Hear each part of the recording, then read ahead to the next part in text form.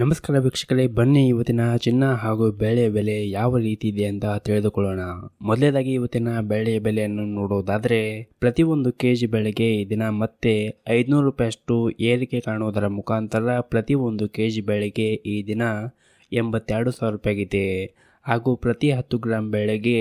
ಎಂಟುನೂರ ಇಪ್ಪತ್ತು ರೂಪಾಯಿ ಇದೆ. ಇನ್ನು ಈ ದಿನದ ಇಪ್ಪತ್ನಾಲ್ಕು ಕ್ಯಾರೆಟ್ನ ಚಿನ್ನ ಗಟ್ಟಿ ಚಿನ್ನದ ಬೆಲೆಯನ್ನು ನೋಡುವುದಾದರೆ